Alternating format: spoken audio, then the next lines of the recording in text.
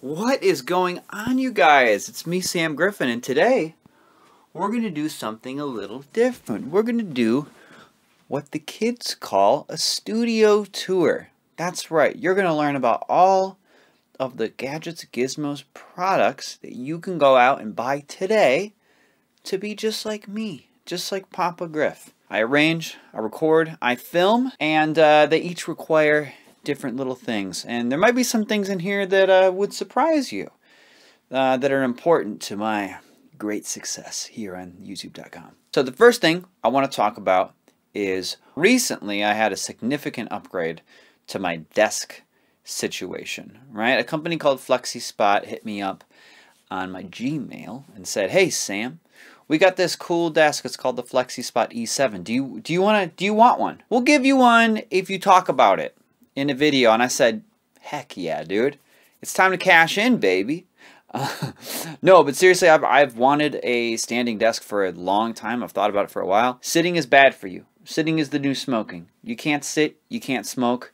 Life isn't fun anymore. If I could stand up just sometimes, just throughout the day, I would love that. So they sent me this thing, and baby, it's beautiful. I have it in the standing position right now. But check this out, dude. Woo! Can you believe that? I can. I can believe it because I've been using it for the past couple weeks and I freaking love it. And you operate everything from this keypad right here and it's got different settings. So you can set the height for your sitting, you can set the height for your standing, and then you just smash a button and it goes to where you want. For some reason, when I'm standing doing work, I feel like I have more energy. I'm more in the zone. When I sit down, I start to get lazy. I find myself browsing YouTube videos more. I'm not just saying that. I mean, that's that's actually been my experience the last couple weeks. So at the highest setting, your desk needs to be nice and stable, okay? I have like a huge 48 inch monitor on here. I have a camera stand, speakers with big heavy stands on them, and it's all loaded on the back of the desk. And this desk is fine. I was I was actually worried. I was like, I don't know if it's gonna be stable enough. It's just got two legs. They do have one called the E7Q that has four legs and is like like a rock. Dude, I mean this with all the stuff I have here, it's great. I freaking love it. They also gave me some cool accessories for it. This is an under the desk drawer. Comes out like that. You know, you can put whatever you want in there. Money, garbage, snacks. They also sent me this cool, uh, this power strip, but it's white, and I like the whole kind of bamboo and black stuff. I know they have a 30-day money-back guarantee. It's got a 15-year warranty. Some people aren't even 15 years old, including, you know, me. If you're interested in the FlexiSpot, I'm going to put a link down in the description. Now, let's talk about mics, okay? What mics am I using to record my beautiful guitar covers? Some of the best on the net, some would say.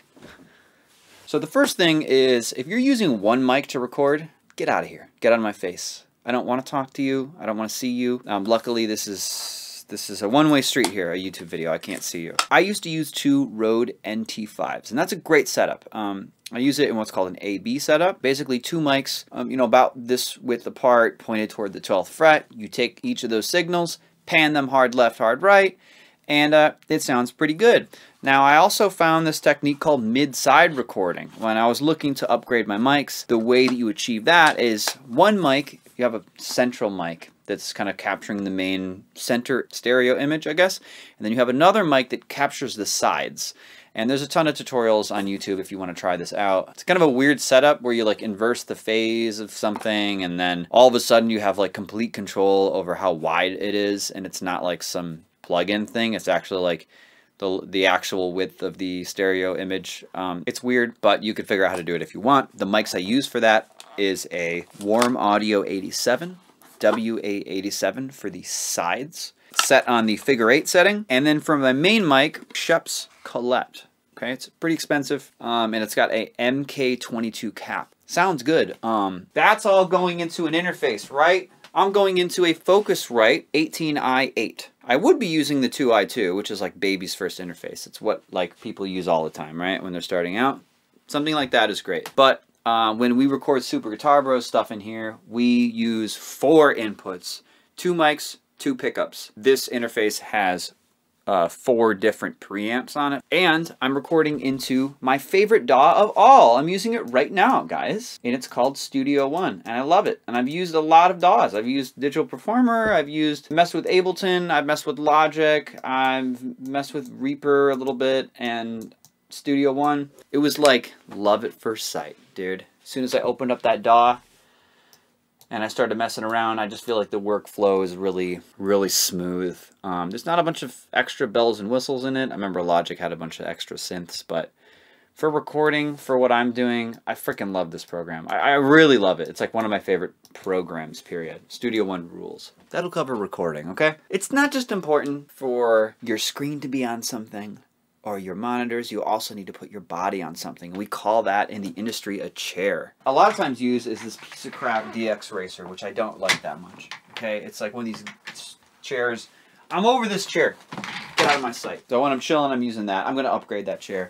But when I'm recording, I use this. This is a Roc-N-Soc drum stool. Drum th throne, if you will. And, and, the nice thing about this is that uh, it's very quiet and it swivels and it's got different uh, heights I can set it to. Um, usually when I'm, like right now I'm sitting on it. Uh, we have another one, which I put out in the hall, just to give myself a little space, okay?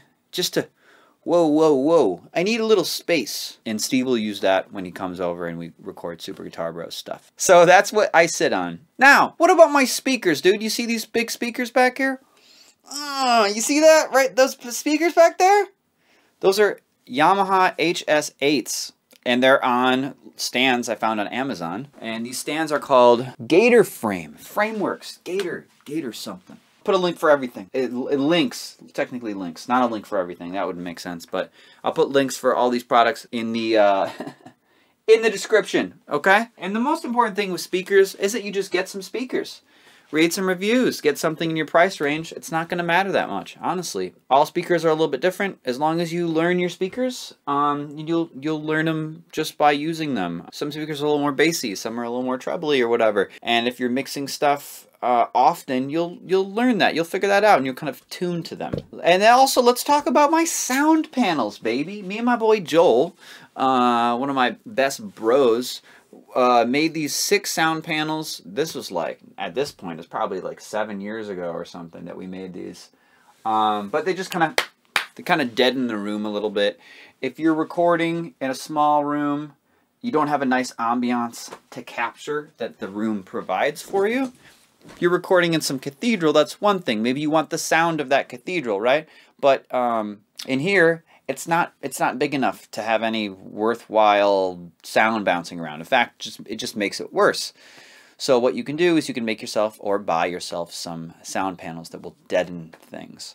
Um, these are like some kind of insulation, basically wrapped in a simple wooden frame, wrapped in muslin that we got from like Michaels or something. Sound panels, very cool, very rad. You know, you you know you're cool when you have sound panels in your room. Okay, but I think that covers all the recording stuff let's talk about arranging. So a lot of my time spent in here is working on songs and I have a very specific process for it. So um, what I currently do, which uh, if you got the money for it, it's pretty great and you want maximum efficiency, it's going to cost you probably about 1500 bucks, but I actually bought myself a MIDI guitar. So check this thing out. You've seen this in a couple videos. It's a Godin Multiac and it's a nylon string MIDI guitar. How cool is that?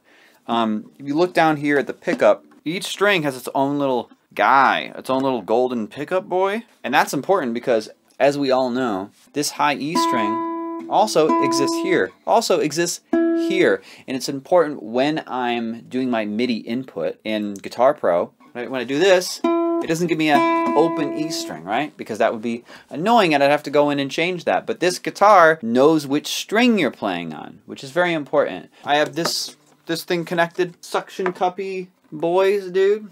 That's my I'm happy, dude. I'm happy to be doing a video for you guys. Dude, I'm weird. I'm a weird guy. Um, but now, let's say I'm at my sitting desk, for example, and I'm just chilling here, right? I would be, I'm not usually kneeling. You guys ever heard of Adam Neely? I should be called it Sam Neely. Get it? Because I'm kneeling.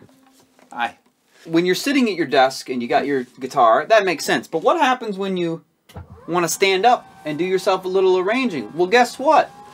You can use a strap. You have a guitar with little things on it. You might not. Um, since I do all my arranging with this, it's fine. I found this really cool strap online.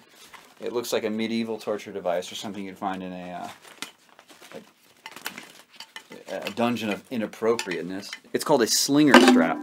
Oops, guitar's broken. So what's cool about this strap, it takes the pressure that would normally be on one shoulder from a traditional guitar setup and instead it puts the weight on both of your shoulders evenly. Once I figure out how to put it on, it's I always I always have a hard time, time actually putting it on though. Hold on. Over here. Woo boy! That's it. Strap me in.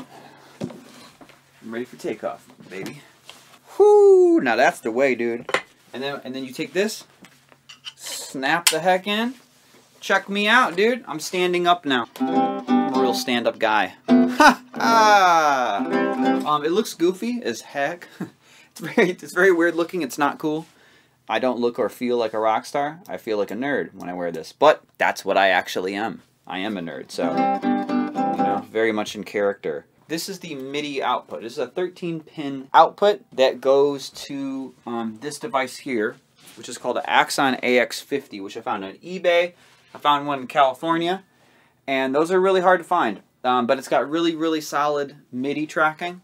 You know, MIDI guitar was kind of a thing you know, 10, 15 years ago, and then it kind of fell off. People don't really use MIDI guitars that much. If you're not going to get a Godin, Godin Multiac and an Axon AX50, which is totally understandable, you can get yourself a, an MMO mouse. This is an MMO mouse. You can use any. This is a Razer Naga Trinity. Um, you can use anything with a lot of buttons, and then basically you can learn to do most of your arranging with one hand which is what I used to do before I got this set up. It's still very, very efficient. You can still get stuff done really quickly. And the benefit of using one hand is that you know you can you can finger a chord here and then you can do all your inputs on your other hand. Very nice, very efficient. Now, when I'm doing my arranging, I probably already mentioned this, but I use Guitar Pro, dude. I used to use Sibelius. Not anymore, dude.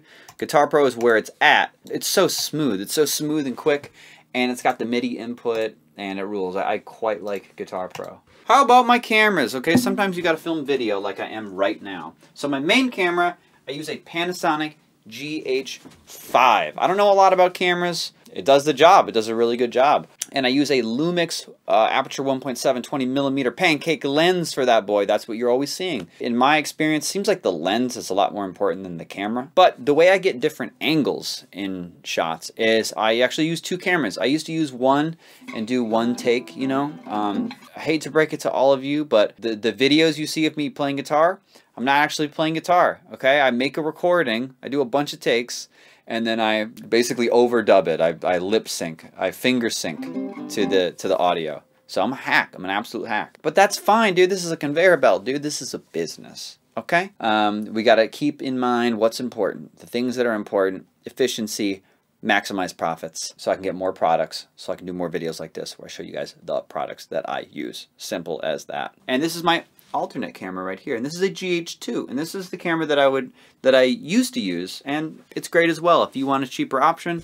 it's an older camera, but it does the job just fine. Um, oh, and my streaming camera. Hello, streaming camera. So I wanted to upgrade from a webcam and it's a, it's called a Z Camera E1. I think there was a Kickstarter for it. Yeah, Z Camera E1 with a Samyang 12 millimeter uh, 2. 2.0 aperture lens. I don't know, but it looks it looks fine. It looks good enough. You know, I get a little blurry back background, just a little bit. Got my camera's kind of leaning a little bit right now. I like that. Got style, baby. Now, you also need lights, right? You need some lights. As you can see, I got lights around me. I currently have three on. Um, I just got these off Amazon. I, I don't know even what they are. I don't think it's worth knowing what they are. Um, I've had them for years but they got these little, you know, soft boxes on Amazon. They're fine. They do the job, and sometimes I use two, sometimes I use one. I've got this light above me that's just kind of chilling up there as a hair light. Hair light, though, you know, I tend to like people to not look at the top of my head these last few years. Slowly marching towards death, and I have the evidence for it. I'm balding, is what I'm saying. And also, when I am arranging, I use a foot pedal. And I found this thing, I think on Amazon, and it's a three button foot pedal, and I've assigned it different macros. So one of them is my make notes longer, one of them is make notes shorter, and one of them is to switch on and off my MIDI input. Because I'll be sitting there trying to figure chords out, eh, and I don't want all that figuring out to be input into Guitar Pro. So I'll figure something out, click the button, boom, this is my chord. Bam! And Guitar Pro just slaps it in with like pretty good accuracy. Say it's about 90% accuracy. Um, but I think that's that's a whole deal. Of course I got tripods holding up these cameras, but uh, who cares about that? I have ch cheap tripods. I don't even remember what they're called. Doesn't matter. Just get something cheap. Uh, and my monitor, my monitor. You, we gotta talk about my monitor, right? That's the other big thing on the desk. Now, I love this thing. I went all out and I got a 48 inch LG OLED it's like a CX or something. Um, I'll, I'll, put a link to it in the description. It's amazing. It's a TV that you can use as a monitor. It's got like super, super low latency or whatever. Okay, I think that's it, man. That's my whole studio. Hopefully you guys liked that video. Hopefully you liked the video. Hopefully you guys enjoyed what I like what I do, like what I say, like the way that I am. It's very important to me that you like the way that I am. All right, go ahead give this video a like and subscribe to my channel if you want. And if you don't want to, subscribe anyways, so you can hate these videos, so that you know when you got a new video that you can dislike. Okay, thanks guys. Peace out!